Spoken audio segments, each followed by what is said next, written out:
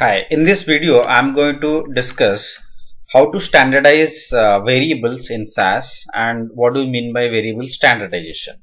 So first uh, let's learn what is uh, variable standardization.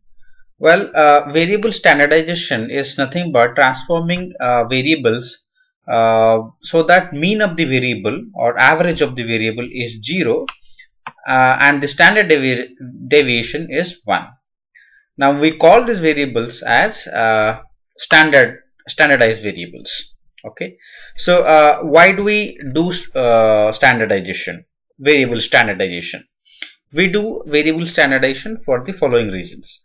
Uh, first thing is uh, uh, you know most of the variables we use in regression um, has got different types of units. For example, if you have height and weight uh, in the same regression, the units of height uh, will be in meter and centimeter, whereas the unit of uh, weight will be in uh, kilos, right? Um, so there, there is a difference in the uh, units. So to make them unitless uh, and to bring them to make them very similar in measures, we do variable transformation. we call it variable standardization. So uh, another reason is that to find the relative importance uh, of variables in a linear regression. If there are two variables like a and b uh, which are explanatory variables, so we want to know whether uh, a has more importance in the regression or b has more importance. And also in many uh, algorithms, uh, standardized variables gives faster convergence. So that's also very useful. So how do we standardize uh, variables? We standardize by subtracting mean of the variable uh, from each data point and divide it by the standard deviation of the variable. Right? If you do that, you will get your variable mean as 0 and uh, its, its standard deviation as 1. Now uh, we can do it, uh, we, we, can see it by ourselves also. Uh, if we use this formula, you will get a standardized variable. Uh, now how do we do it in SAS? Also see how we can use the standardized variables in a regression and how do we interpret it and how it helps us uh, finding out the relative importance. I'll take uh, three variables from the dataset cars from SAS help. So I've taken length, horsepower and mileage from these uh, datasets. Um, now uh, I'll standardize uh, the uh, three variables using the SAS proc uh, proc standard. Okay so syntax is like this proc standard data uh, input data set. Uh, the mean is 0 uh, and the standard deviation is 1 and we are creating another data set which will store the standardized variables. Um, we're calling it as Z cars so let us run this. So I'll go to my work library. So the initial data was like this.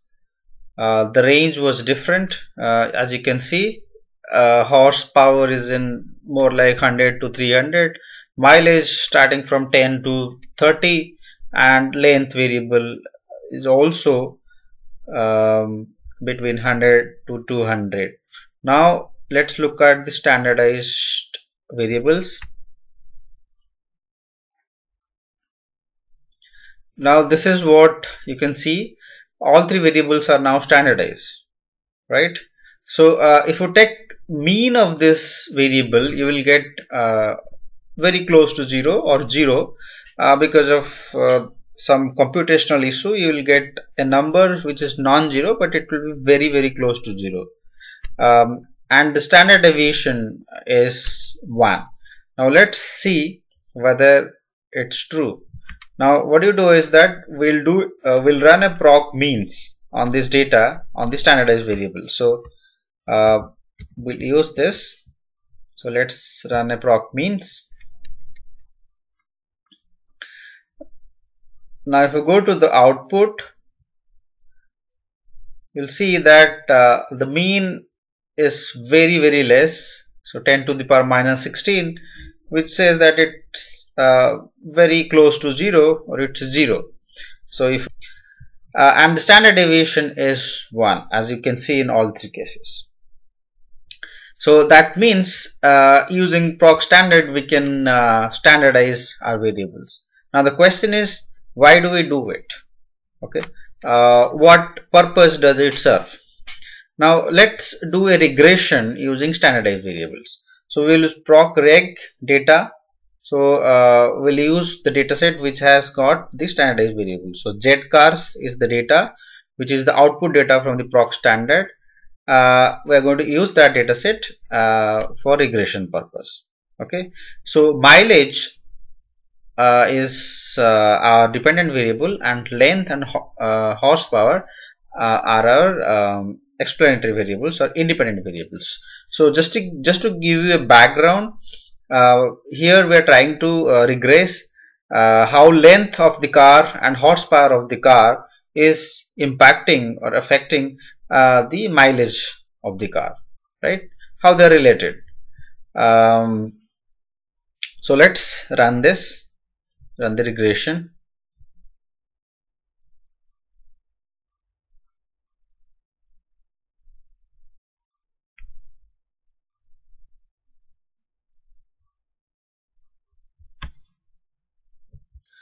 Now in the regression you can see in the output you can see that uh, all two both the two variables are uh, uh, significant. As you can see the p-values is uh, less than uh, 0.05 so these are uh, significant variables. Now you can compare these two estimates. The value for length the estimate value for length is 0.28 minus 0.28 and the estimate value for horsepower is uh, minus 0.56 now what it says is that uh, horsepower uh, contributes to mileage more than length. Because the estimate is more than length.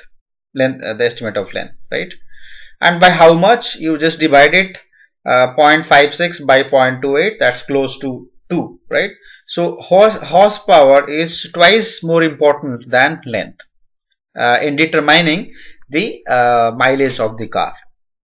So, uh, so now question is, can't we do this with normal regressions or the regression phase with normal variables without doing the standardizations? Well, we cannot do that. We cannot compare uh, the estimates from um, regressions which uses uh, non-standardized variables, right? Because they are of dif uh, different units. So we cannot do, uh, we cannot compare these estimates. But here with standardization, we can compare. Now let's see how do we do, uh, how do we get standardized estimates directly from regressions, proc reg. Now instead of using the dataset which has got standardized variables, we are using the uh, the first dataset which has got on uh, non-standardized variables, right? So these are very normal data set. We, we are, we're not standardize, standardizing. Using the option uh, STB uh, or standardized beta, uh, we can get standardized uh, estimates along with the uh, normal estimates, right? So the syntax is uh, same, the proc reg syntax, except one change here that we are going to use an option STB. Now I have highlighted here, you can see. So let us run this.